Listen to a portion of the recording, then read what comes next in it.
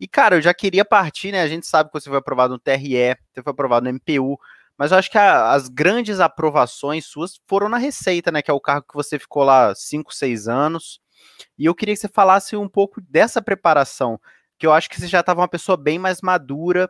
E é maneiro ver você hoje, né, como prático aí e tal, mas mesmo que você fosse auditor ainda, pô, você veio do zero para um concurso de nível médio, outro de nível médio, é, nível superior, até chegar onde você chegou.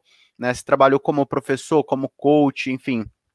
E essa jornada acho que é o mais legal para todo mundo aqui, porque às vezes o cara que está estudando, pô, ele tá no zero. Aí ele fala, pô, será que eu vou sair do zero para auditor já? Não, será que é possível? Então eu queria que você falasse qual, qual foi o fator assim determinante na sua aprovação para a receita, cara? Assim, na época que você estudou, que você falou, meu, isso fez a diferença. Era a maturidade que você já tinha com os estudos, estudando há muito tempo? Ou você acha que se fosse do zero, você engajado, você conseguiria também? Qual foi o, o pulo do gato assim que você deu na sua aprovação como porque você passou para auditor e analista, né? Outra coisa que vale ressaltar, são dois cargos diferentes, né? As provas acho que for, foram em dias diferentes, não sei. E aí você foi lá, arrebentou nas duas, escolheu o cargo de auditor. É do mesmo concurso do Diogo, não é? Do é. professor Diogo. Passei na frente dele, bem na frente dele. Assim, muito, muito na frente dele. Fala pra galera então, cara, qual foi assim na sua preparação para auditor que você pode olhar e falar, meu, isso fez a diferença nessa preparação?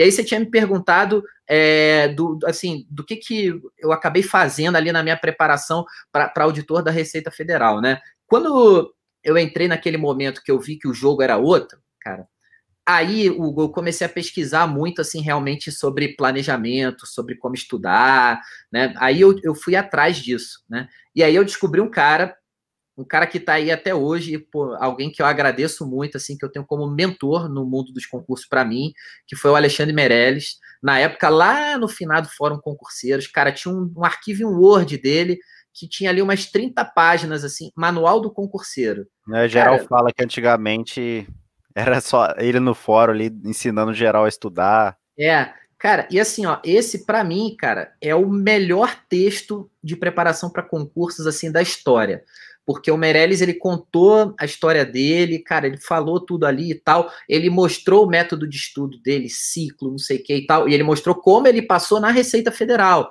porque o Meirelles passou no concurso da Receita Federal em 2005.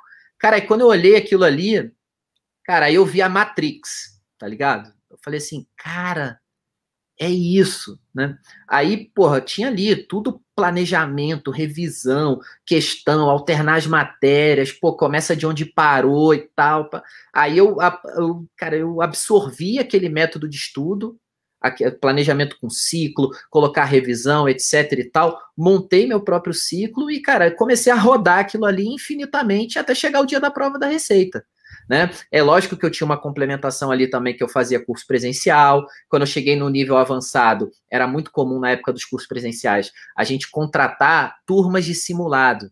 Aí todo sábado eu ia fazer um simulado lá no, lá no concurso, lá no curso, sabe? Aí era fiscal de sala, cartão resposta, tal, caderno de prova. E aí eu ia começando a fazer simulado um atrás do outro mantendo minhas revisões, meu material de estudo, fazendo muita questão, lendo lei seca, enfim, incorporando todas aquelas ferramentas que você mesmo fala bastante aí, pô, o pessoal que está mais é, básico no básico em como estudar, pô, aqui no canal do Hugo mesmo, cara, tem, tem um curso de como estudar completo aí, né? Se demole, ele já até fez uma playlist, organizou tudo. Se não fez, já deixo aqui a dica para ele fazer ah. a playlist.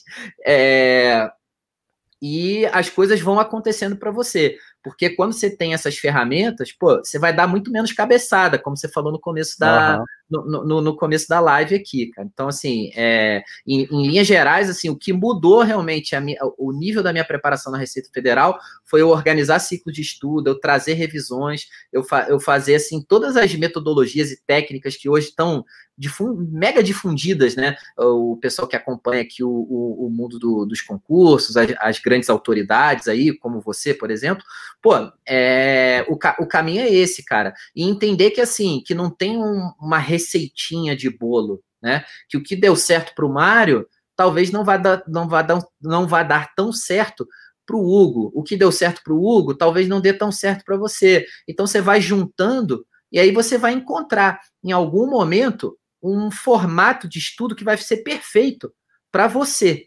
Esse é o mais importante. Né? Eu, eu costumo dizer para os alunos no, no, programa de coaching do direção o seguinte: que não tem estudo certo e tem, não tem estudo errado. Errado é quem não estuda. Né? Uhum. E aí uhum. você tem que encontrar o seu caminho, tem que encontrar o seu método, e claro, vai testando aquilo que já funcionou com quem passou, vai testando aquilo que funciona para a maioria das pessoas, que a chance é boa de funcionar para você também.